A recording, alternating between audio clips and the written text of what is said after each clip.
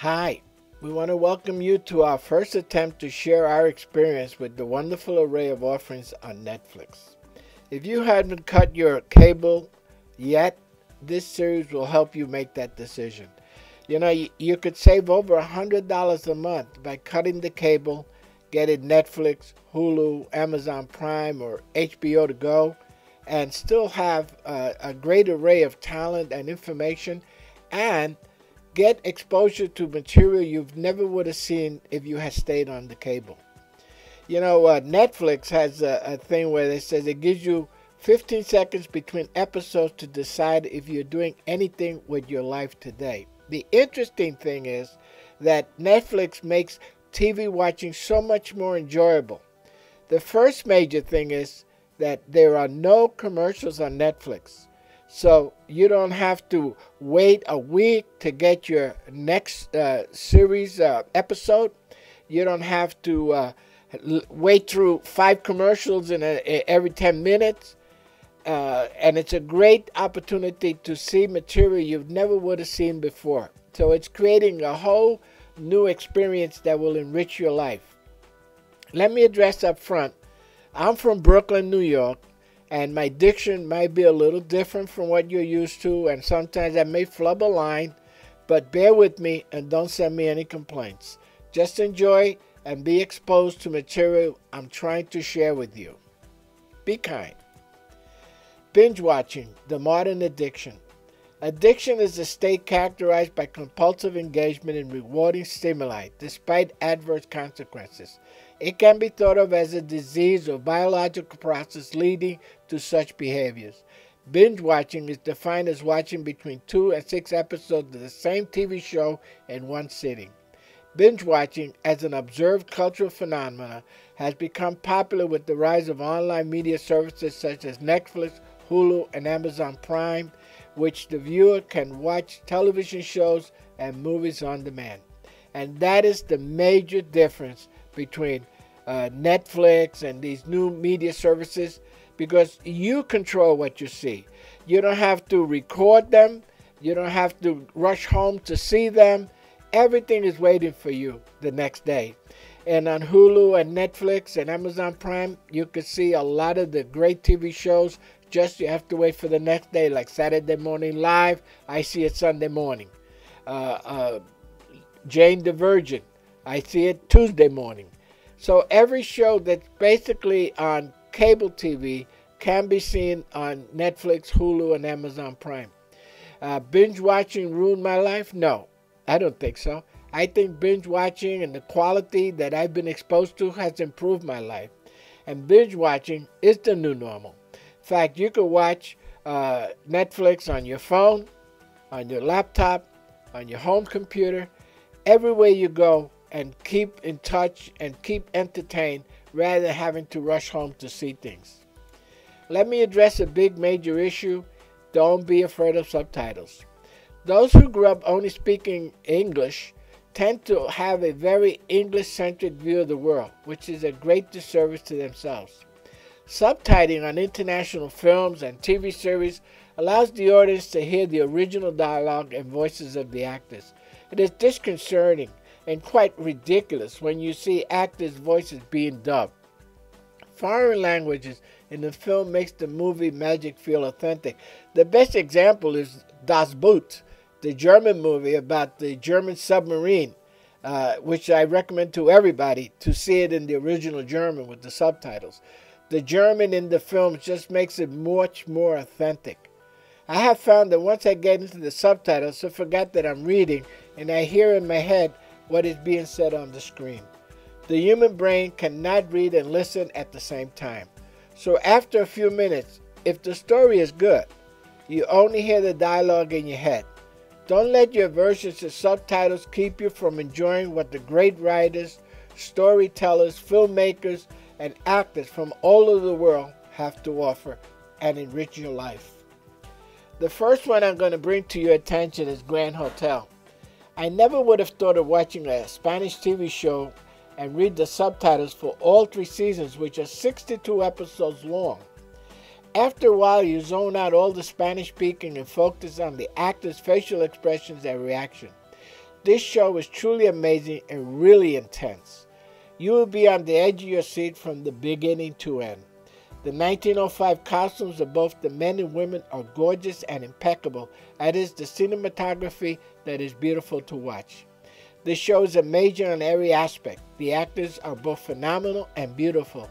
They keep the story constantly engaging, and the story is done so well you are never left confused or lost, even though there's so many things going on at, at one time. Each episode sends and ends in a cliffhanger, and you can't wait to see what happens next. Velvet, another great series from Fame, will help you with your withdrawal from Grand Hotel. Yeah, it's 62 episodes and it's like a great book. You don't want it to end. But let me tell you, the clothing alone, just to see the clothing, the, the women's dresses from that period, and the men's impeccable suits, it's just a beautiful thing to see. I know you're going to enjoy it. Next, you know, Netflix is producing their own shows, and one of their own shows is Narcos. The acting is excellent, especially the actor who plays Pablo. Very nuanced performances from everyone in the cast. The direction is precise with never a wasted moment. The story moves at a very fast pace, but thanks to excellent editing, is not overwhelming. The fact that it is filmed in the uh, actual place where the story takes place and is mostly in Spanish only adds to the series. Wagner Moura, who plays Escobar, was incredibly good. Even when witnessing some of the horrible things Escobar uh, or directed others to do, you couldn't help but feeling for him. And at the same time, you feel his own sense of insecurity or depression. The series has a real vibe to it. The story is told in a way that makes you feel you are the person experiencing the events that are being told. Yes, there is violence, sex, murder, and a lot of gunplay, but all that makes an interesting series. I know you're going to love it. Get past this idea of uh, murder and mayhem. It's very well done and a beautiful movie to watch. The next one is a series from Japan. In this series, you get to see day-to-day life, how safe they you. In this series, you get to see what day-to-day life really is in modern Japan. It took an episode or two to get into but well worth the effort. The show mixes comedy and drama. You will love and appreciate this witty, humorous, and thoroughly entertaining series. This show is gorgeous. The pacing of the series with beautiful visuals and its overall message was wonderful. Atelier in Japanese means underwear, and it's a story about a, uh, a small shop that man- manufactures couture uh, lingerie. The acting and this young lady in it are just fantastic. The next one has no subtitles. It's Foyle's War. Set during World War II, this crime drama f- follows police inspector Christopher Foyle, who learns that crooks don't stop for anything, not even war. Michael Kitchen, Anthony Howell, Honeysuckle Weeks, and Julian Ovenden are perfectly matched to their characters. Mr. Kitchen's expressions were absolutely brilliant, and the men the man needed very little dialogue to pull off the emotions of this char- his character every time. Honeysuckle Week's character put her foot in her mouth on every occasion and added the right amount of humor. The World War II history was priceless, and you get to see what England went through for six years. The authenticity and attention to detail in the series is remarkable, as only BBC is capable of doing. I know you're going to enjoy it. I was terribly sorry when this series ended because uh, Foyle uh, really did a great job, and uh, Michael Kitchen was excellent in the role. The all-time uh, uh, binge-watching show, Breaking Bad. A friend of mine had been after me. You gotta see this. You gotta see it. And I didn't want to get involved in anything that was had to do with drugs and things like that.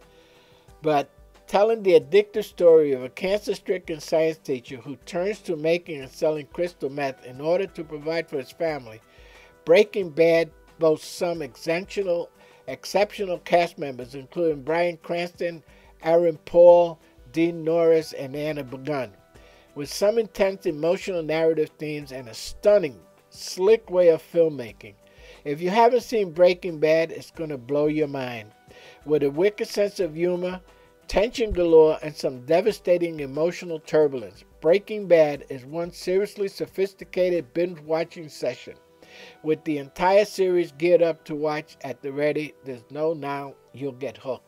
And let me tell you something these guys and uh, Mr. Cranston did a fantastic job to the point where you feel that you're watching a video of these real people.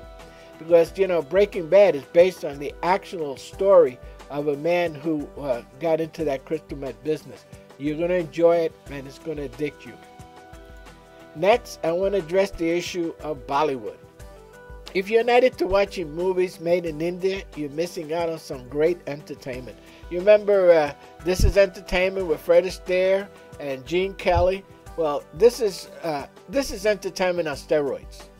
Bollywood films are mostly musicals and are expected to contain catchy music in the form of song and dance numbers woven into the script. A film's success often depends on the quality of such musical numbers. And let me admit, sometimes they put musical numbers in the middle of a serious thing and you wonder what the hell are they doing. But if you overlook this and look at the beauty of the the women and the men in these series and the clothing and the outfits and you get to see a version of India you never get to see because when we hear and see of India all we hear is negative and, and poor people and broken down shacks here you see, see the quality of life that a lot of Indian people are enjoying. Bollywood is one of the largest film producers in India and one of the largest centers of film production in the world. A lot of people don't realize that. It is more normally referred to as Hindi cinema. Bollywood is classified as the biggest movie industry in the world in terms of amount of people employed and number of films produced. In just 2011 alone, over 3.5 billion tickets were sold across the globe, which in comparison, 900,000 tickets more than Hollywood. Also in comparison, Bollywood makes approximately 1,041 films yearly as opposed to less than 500 films made by Hollywood yearly. All Bollywood movies come with excellent subtitles. Remember that India was ruled by the British for over 400 years. That's a long time. And English is well spoken in India. And you're going to miss out if you don't get into watching these Bollywood movies. Be they gangster movies, be they love movies, be they historical movies. Just get on anything with five stars. And that brings another uh, point. One of the ways to see um, film and make sure that it's something you're going to enjoy, Netflix has a star system.